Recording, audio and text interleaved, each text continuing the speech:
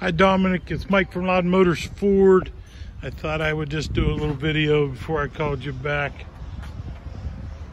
There's the tires on it, about three quarters. Show you a little bit of the frame.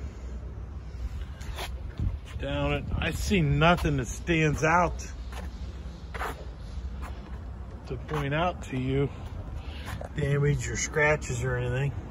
It does have the bed liner across the back.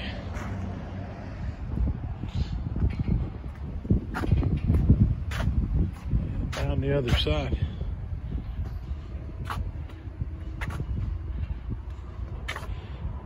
Two thousand eleven, this thing is immaculate.